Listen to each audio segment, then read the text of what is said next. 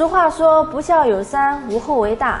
历来中国人对儿女成家的问题十分看重，如今催婚现象更是屡见不鲜。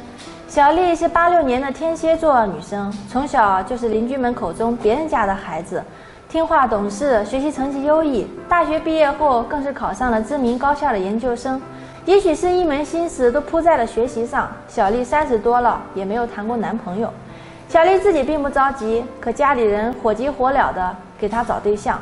三十多岁的老女孩没有任何感情经历，周围人都投来异样的眼光。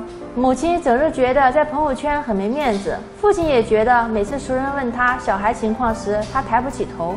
身边的同龄人结婚的结婚，生子的生子，彼此间的话题也由曾经的畅谈理想、规划人生，变成了玉子金和柴米油盐。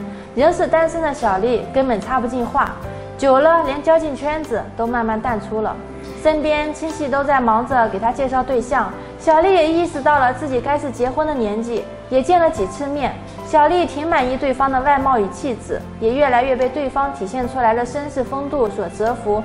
但是随着对彼此接触的增加，在男方了解小丽曾经的感情史一片空白，没有过性生活时，询问小丽是不是有什么生理或者心理上的疾病，小丽彻底崩溃了，一言不发，甩袖而去。小丽委屈，难道三十岁的老处女没结婚、没有过性生活就不正常吗？其实，在现代社会，大家更注重的是自身的发展和能力的提高。而将二十多岁的青春年华放在了求学和事业的提升上面，忽略了情感上的需求，这也许是大龄单身人群越来越庞大的原因之一吧。我认为这无可厚非，鱼目与熊掌不可兼得，并且缘分这东西实在玄妙，它在该来的时候总会来临。你要做的只是在它敲响你的门之前，把一切都准备妥当。把自己提升得更加完美，在迎接开门、迎接爱情的那一刻，便能自信地展开双臂。